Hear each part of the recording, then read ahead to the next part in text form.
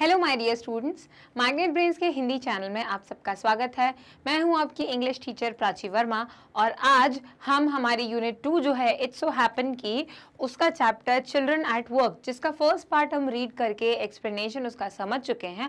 अब बारी है उसके सेकेंड पार्ट को पूरा करने की। और ये सेकेंड पार्ट सिर्फ़ दूसरा हिस्सा नहीं है, ये फाइनल हिस्सा है। इसमें कहानी हमारी खत्म हो जाएगी। तो चलिए देखते हैं। सबसे पहले तो एक छोटा सा एक्सप्लेनेशन देख लेते हैं कि इसमें क्या होने वाला है। सबसे पहले है, Velu follows his friend through the crowded streets to a big building Velu अपने उस दोस्त का, उस लड़की का जो कचरा बीन रही थी, उसका पीछा करते करते उस पूरे भीड़ वाले इलाके से बड़ी बड़ी इमारतों के पास पहुँच जाता है। Behind the building there is a big garbage bin और उस बड़ी सी इमारत के एकदम पीछे एक बड़ा सा ढेर है या एक कह सकते हैं एक डस्टबिन है गार्बेज बिन है, जहाँ कचरा इकट्ठा होता है।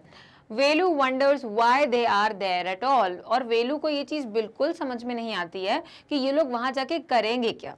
तो चलिए देखते हैं कि आगे क्या होता है। He caught up with the girl as she was leaving the station. When they got to the road, Velu found that the vehicle kept coming and never stopped for anyone. उसने जैसे तैसे उस लड़की का पीछा किया बहुत तेज भाग रही थी वो लड़की स्टेशन से निकल कर क्योंकि उसने कहा था ना चलने के लिए और उसने पीछे मुड़ के भी नहीं देखा था वेलू को कि ये मेरे पीछे आ भी रहा है कि नहीं उसने बस बोला कि मैं तुम्हारी मदद कर सकती हूँ और वो चलने लगी तो वेलू थोड़ी देर तो सोचने में उसने वेस्ट कर दिया था टाइम गवा दिया था कि मैं जाऊँ कि नहीं जाऊँ, मैं इसे जानता भी नहीं हूँ। और जैसे ही वो जाने लग गया तो उसने भागने की जैसे तैसे उसके पास पहुँचने की कोशिश करी। स्टेशन से निकलते वक्त। जब वो रोड पर पहुँचे तो वेलू ने एक अनोखी चीज़ पर ध्यान दिया कि गाड़ियाँ जो हैं, जो रोड है, जैसे ये बात चेन्नई की हो रही है तो यहाँ पर जो रोड है, वो चलती जा रही है। गाड़ियाँ रुकी नहीं रही हैं किसी के लिए, वो भाग, लोग रोड क्रॉस नहीं कर पा रहे हैं। गाड़ियाँ कभी रुकती नहीं है कि हाँ हम रुक जा रहे हैं, आप रोड क्रॉस कर लो। गाड़ियाँ तो चलती चली जाती हैं। Smoke and dust flew at him from all sides. गाड़ियों के चलने की वजह से और क्योंकि वो एक शहर था तो वहाँ पे धुआँ, गाड़ी के, गाड़ी से निकलने वाला धुआँ फैक्ट्री से निकलने वाला धुआँ, इन सारी चीज़ों के जो धुआँ, धूल, मिट्टी सब कुछ था, वो चारों ओर से वेलू के ऊपर आ रहा था मेकिंग हिज हेड स्पिन और उसका सर घूम रहा था इस वजह से। हेड स्पिन मतलब giving him a headache making him feel dizzy बेहोशी हल्की सी लगती है ना, सर घूम रहा है, वैसा लगने लग जाता है। जब बहुत ज़्यादा डस्ट धुआँ या आप बहुत तेज़ गर्मी धूप में रहते हैं तो आपको ऐसा लगता है ना, ओहो, कितनी गर्मी हो रही है। तो आपको गर्मी की वजह से चक्कर आते हैं। बस वही चीज़ यहाँ पर है। तो वो जैसे तैसे उसने, उस लड़की का पीछा किया, उसके पास गया, उस भीड़ वाली जगह से, रेलवे स्टेशन से निकल कर बड़ी बड़ी इमारतों के पास वो लोग जा रहे थे। वहाँ पहुँचने के रास्ते में वेलू ने ध्यान दिया कि रोड क्रॉस करने की किसी की हिम्मत ही नहीं होती होगी क्योंकि गाड़ियाँ किसी के लिए रुकती ही नहीं है। गाड़ियाँ तो चलती चली जाती हैं। और फिर उसके बाद में वहाँ से इतना धुआँ, इतनी धूल मिट्टी चारों ओर से वेलू के ऊपर आ रही थी तो उसको, उसका सर घूम रहा था, उसका सर दर्द देने लग गया था। क्यों? क्योंकि आप, हम अगर शहर में रहते हैं तो हमें कहीं ना कहीं इन सब चीज़ों की आदत रहती है कि धूल मिट्टी है, धूप है, प्रदूषण है। लेकिन गाँव में रहने वाले लोगों के लिए ये सब कुछ बहुत ही ज़्यादा नया होता है।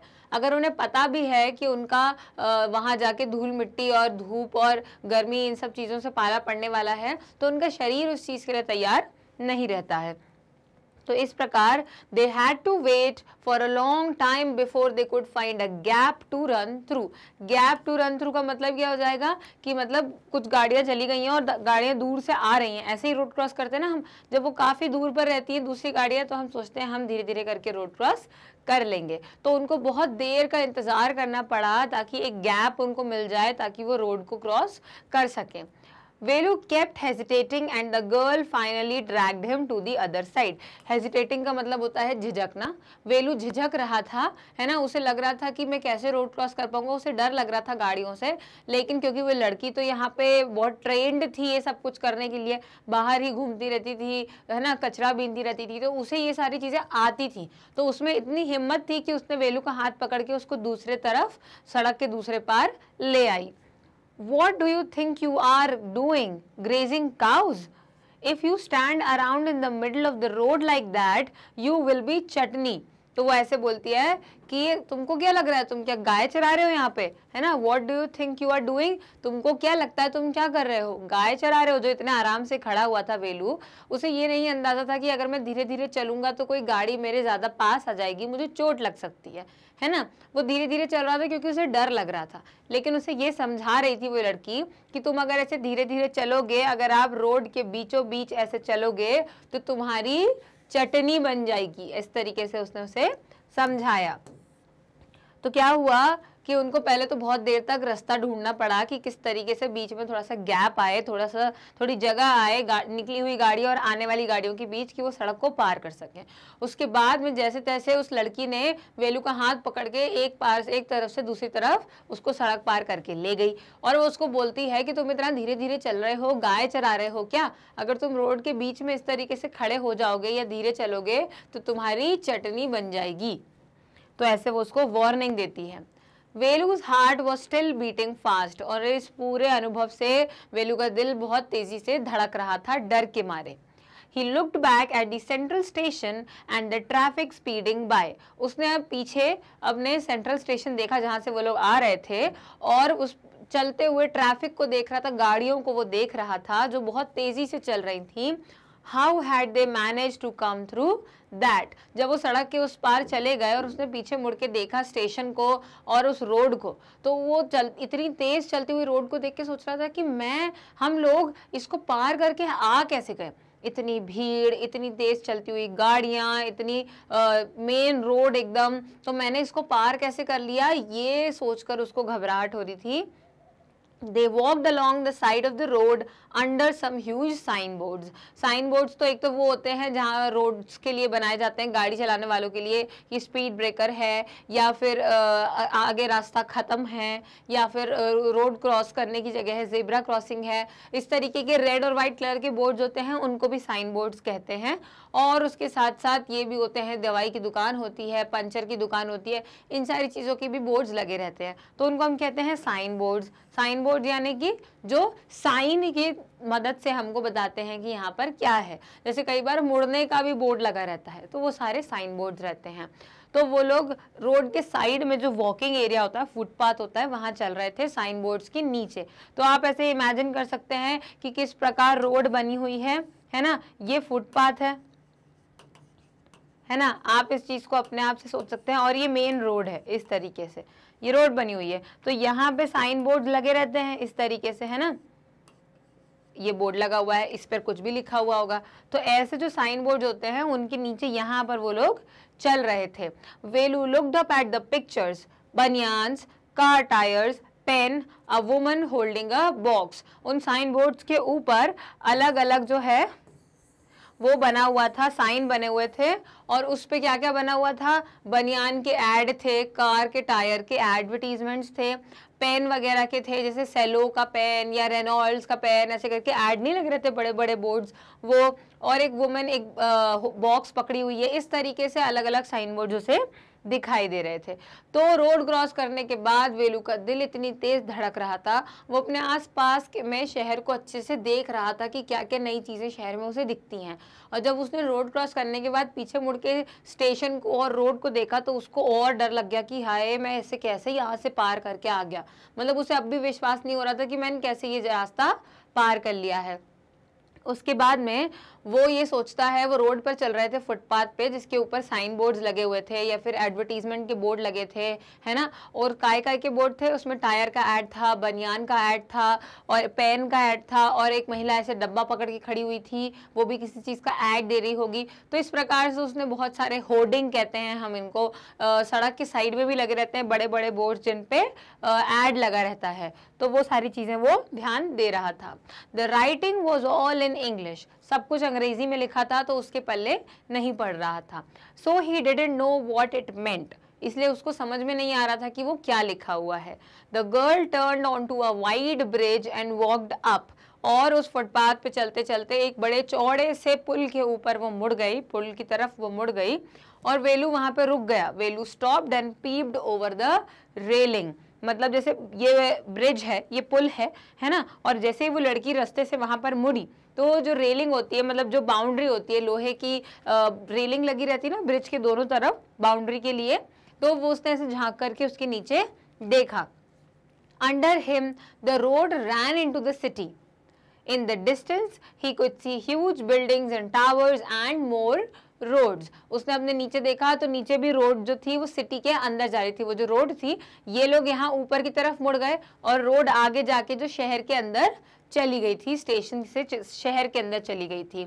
तो उसने दूर तक देखा तो वो रोड जो है वो बड़ी बड़ी इमारतें बड़ी बड़ी बिल्डिंग वहाँ पर जा रही थी और और भी बहुत सारी रोड्स उसको दिख रही थी। जो ये शहर आजकल हम ऐसा कह सकते हैं कि इतनी सारी रोड बन गई हैं, फ्लाईओवर बन गए हैं, मेट्रो आ गई है है ना? अलग अलग बड़े बड़े शहरों में और चेन्नई एक बहुत ही बड़ा शहर है। तो वहाँ की रोडें, वहाँ के ऊँचे नीचे ब्रिज होना आम बात है। लेकिन ये चीज़ वेलू के लिए आम बात नहीं थी।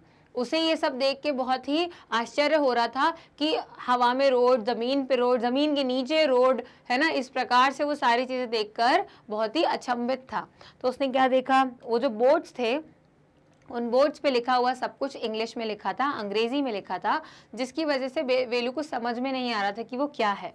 और तभी जो उसके साथ जो लड़की चल रही थी, जिसका नाम हमें अब तक पता नहीं चल पाया है, वो ऐसे मुड़ी एक ब्रिज की तरफ़।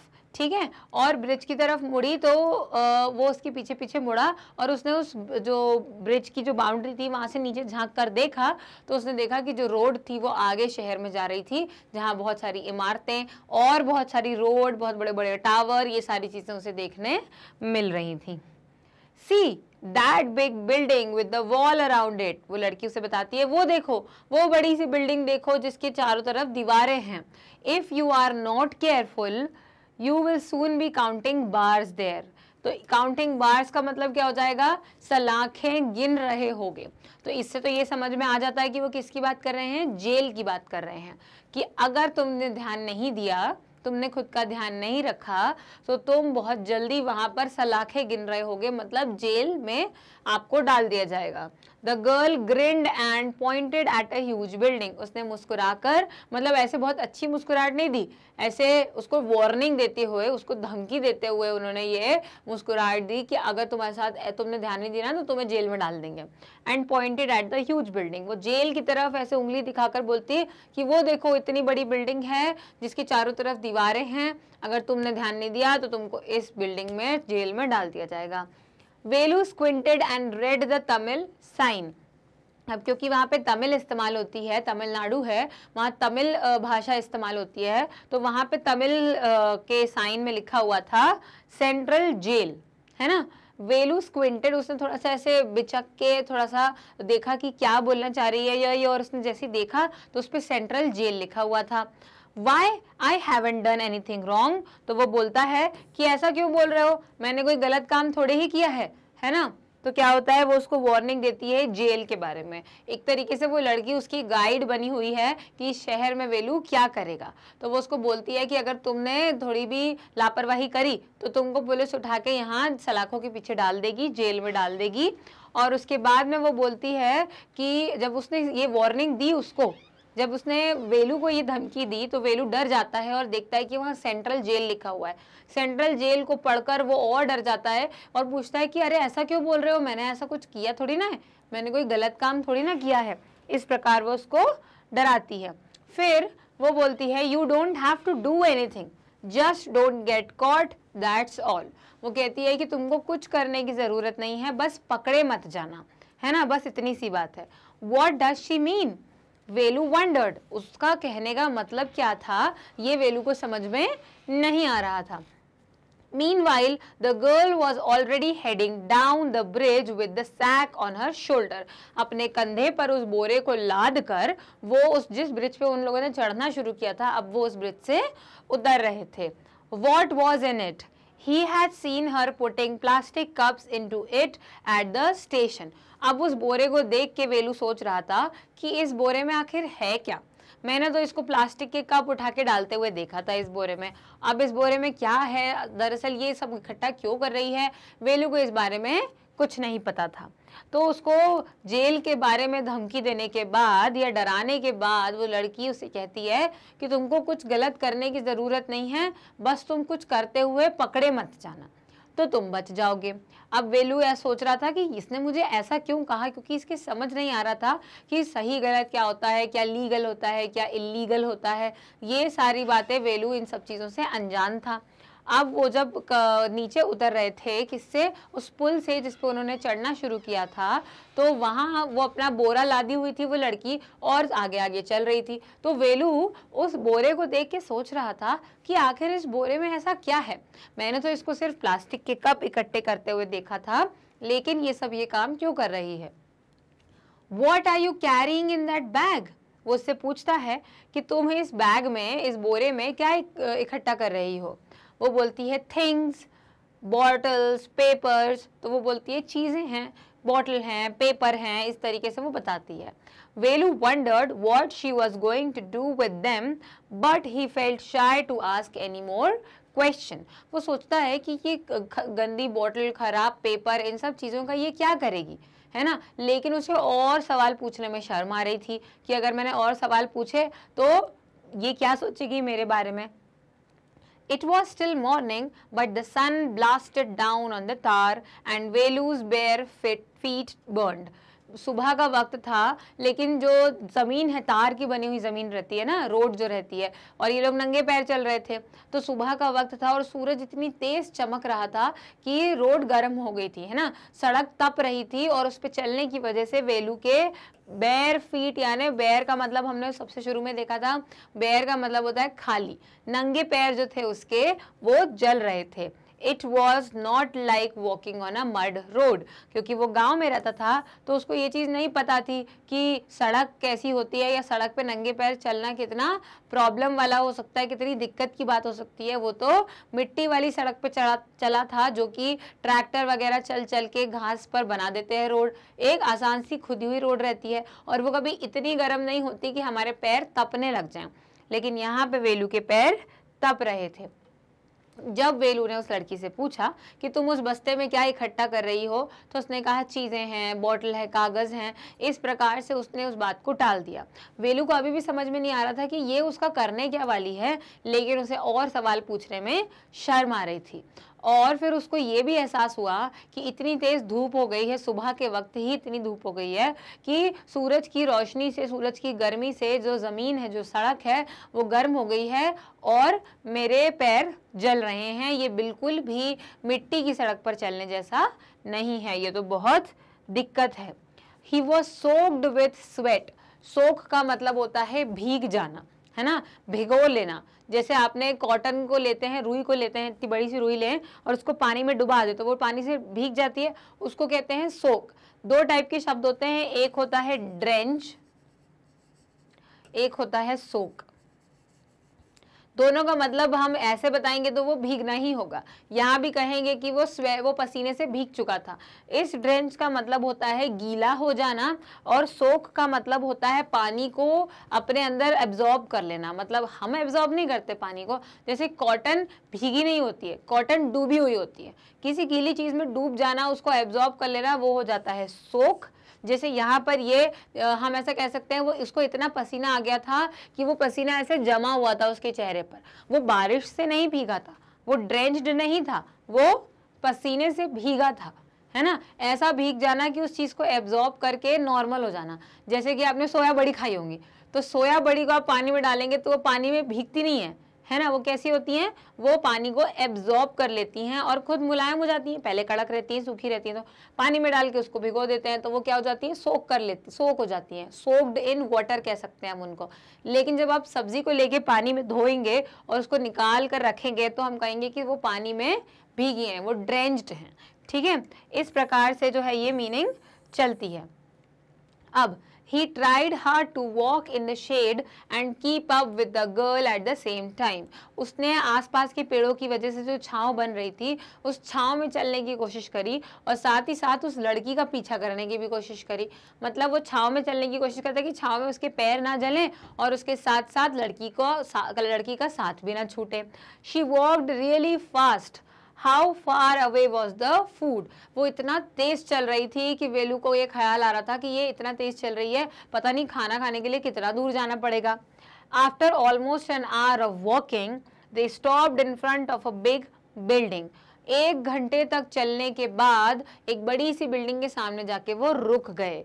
श्री राजा राजेश्वरी प्रसन्ना कल्याणा मंडपम रेड वेलू स्लोली ये आप अपने अगर मूवीज़ देखी होंगी तो आपको पता होगा कि कल्याणा का मतलब क्या होता है? यहाँ शादी का फ़ंक्शन चल रहा है है ना? कल्याणम बोलते हैं ना साउथ की लैंग्वेजेस में कल्याणम को आ, मतलब होता है कि वहाँ पे कोई शादी हो रही है कोई अच्छा काम हो रहा है। तो अब ये क्या लिखा हुआ था? श्री राजा राजेश्वरी प्रसन्ना कल्याणा मंड तो मंडपम से क्या समझ में आता है कि मंडप भी कहाँ लगता है? शादी में लगता है। तो बस उसी तरीके से उस बोर्ड पर जहाँ वो बिल्डिंग में जा रहे थे अंदर, वहाँ वेलू ने क्या ये चीज़ पढ़ी और वो इससे समझ गया कि ये एक शादी का फ़ंक्शन चल रहा है। तो फिर इसके बाद क्या होता है?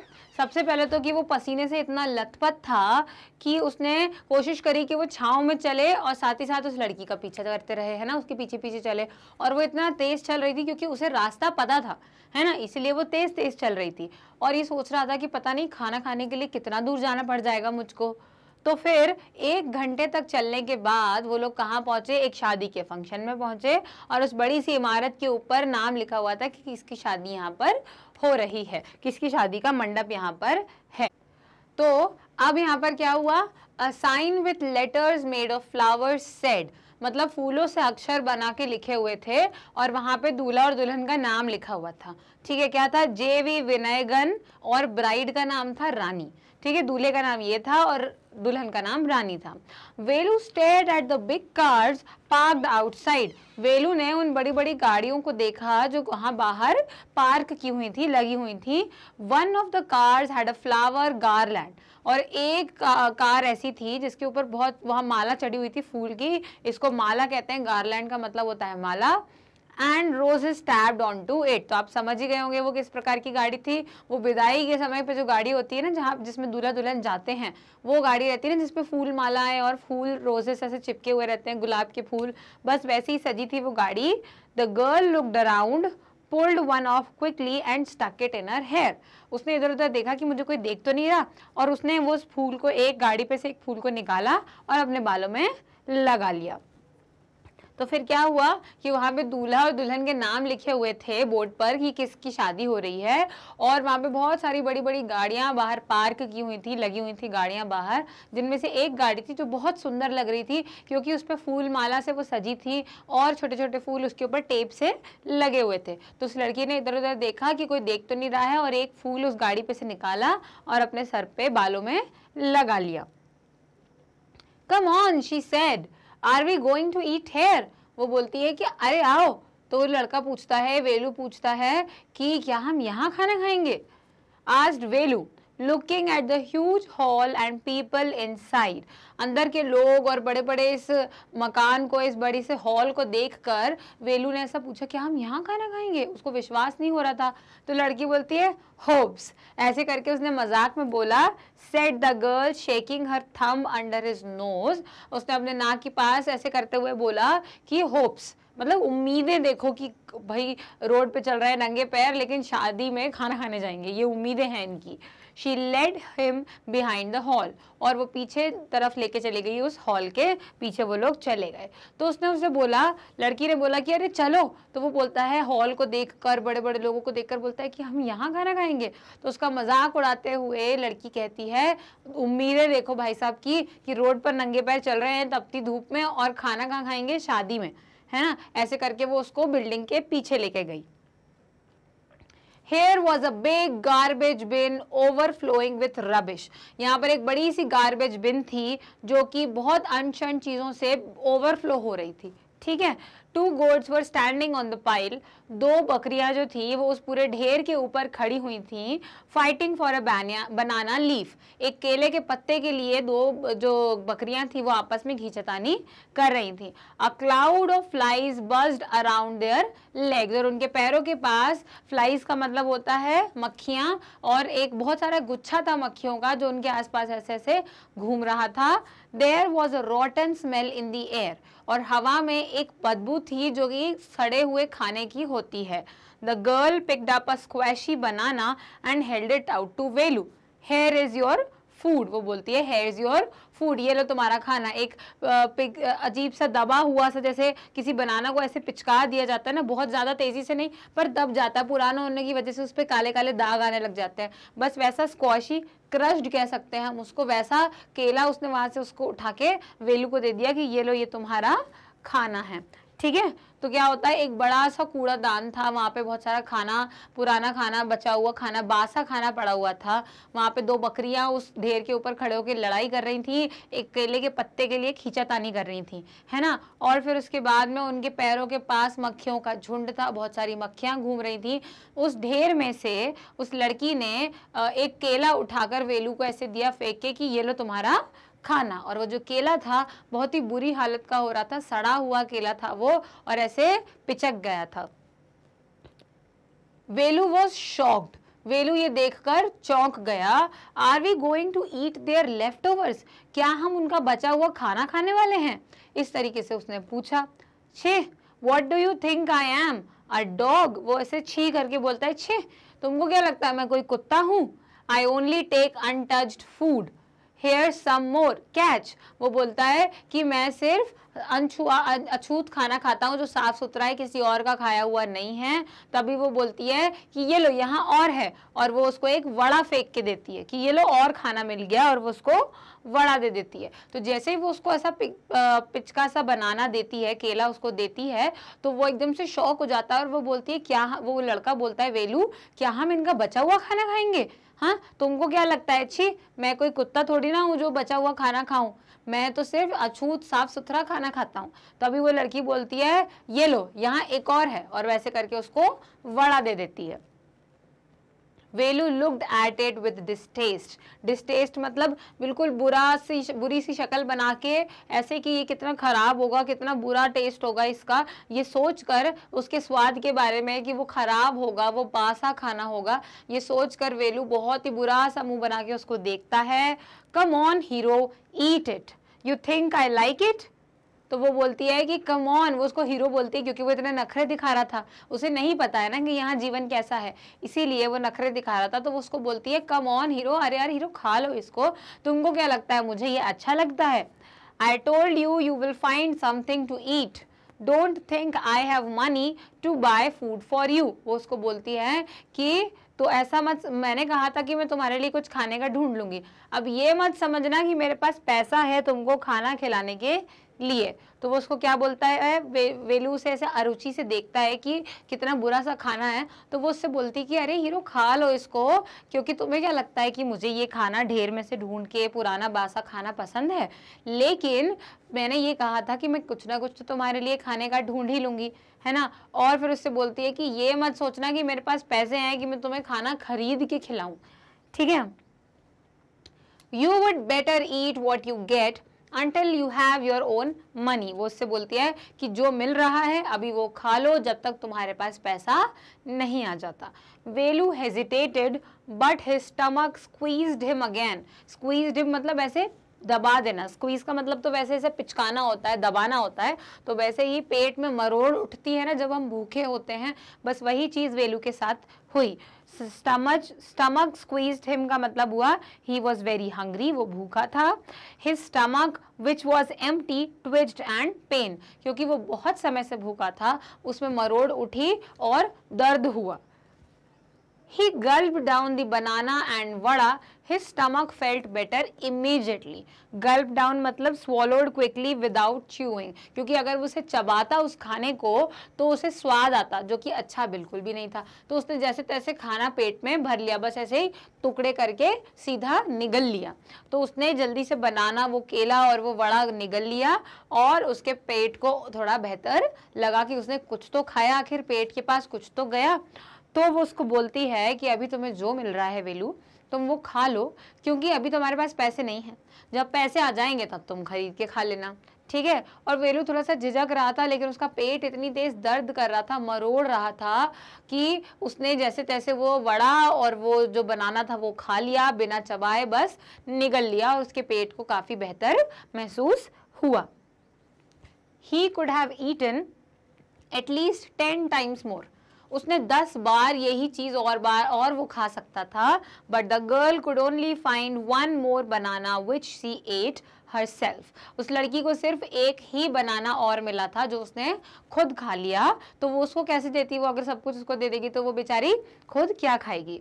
It's too early they have only eaten tiffin वो बोलती है कि अभी बहुत सुबह है, उनने अभी टिफ़िन ही खाया। यहाँ टिफ़िन का मतलब स्नैक खाया मतलब पूरा खाना नहीं खाया ये सिर्फ़ नाश्ते की तरह उन्होंने खाया है। वो बोलती है, अभी बहुत सुबह है, इसलिए उनने अभी सिर्फ़ नाश्ता किया है।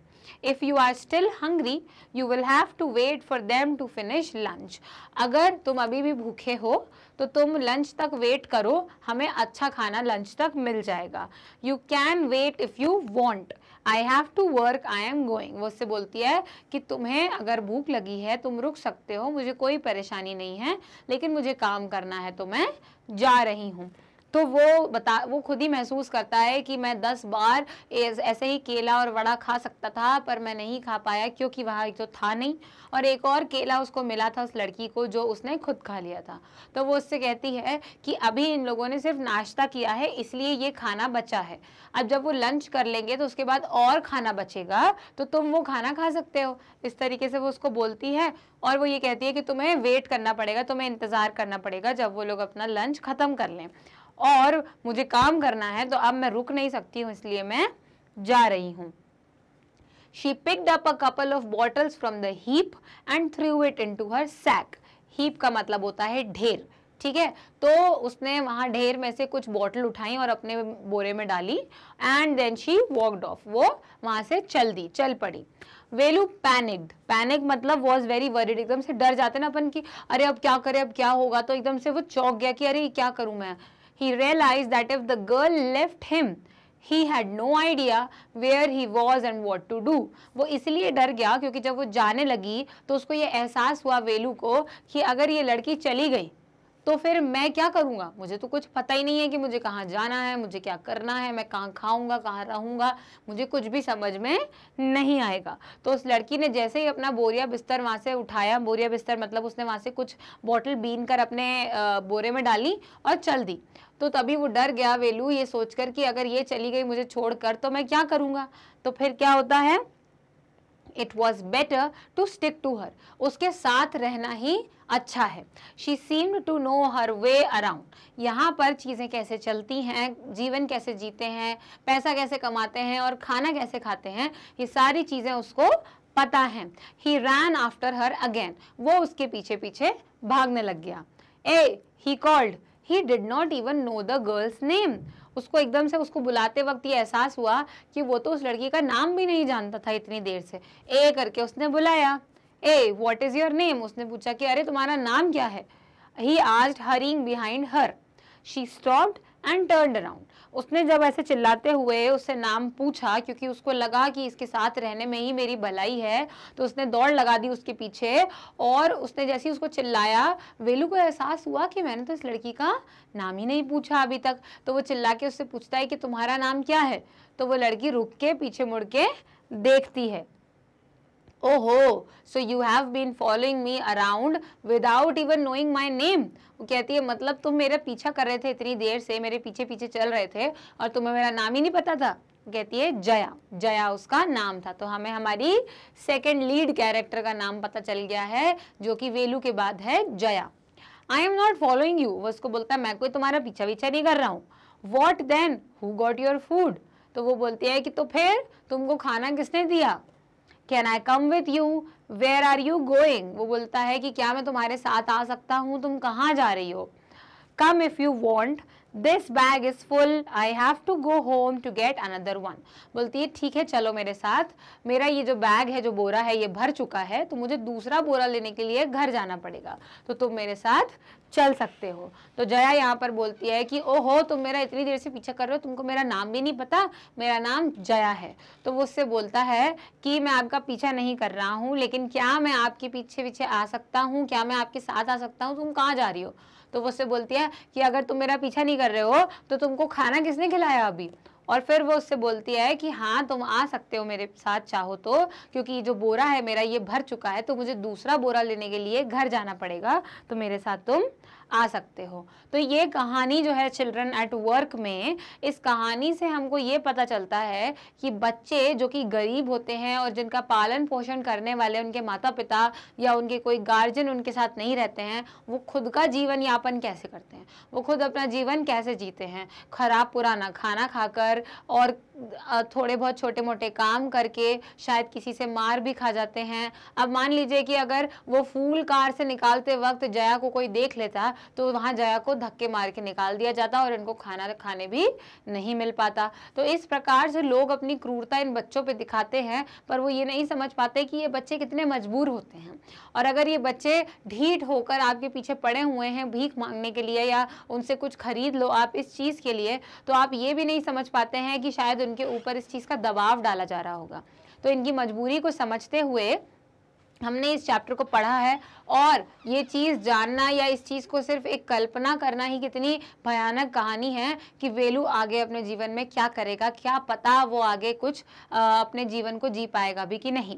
तो ये थी कहानी। इसकी समरी और इस कहानी के बारे में और जानने के लिए आपको जाना पड़ेगा इंडिया के number one hundred percent free online education देने वाले प्लेटफॉर्म पर जो कि है मैग्नेट ब्रेन्स टाइप करें गूगल पे जाके मैग्नेट ब्रेन्स डॉट कॉम और वहाँ पे हमारी वेबसाइट आने पर अपना कोर्स सिलेक्ट करें सीबीएसई हिंदी मीडियम और जो कि आपकी क्लास है क्लास एट्थ वहाँ आपको सामने इट्स इफ़ सो हैपन करके बुक का सामान्य अंग्रेज़ी का टैब मिलेगा जिस पर आप क्लिक कर सकते हैं और आपके पास पूरी लिस्ट आ जाएगी सारी यूनिट और उस यूनिट में कवर किए हुए टॉपिक की।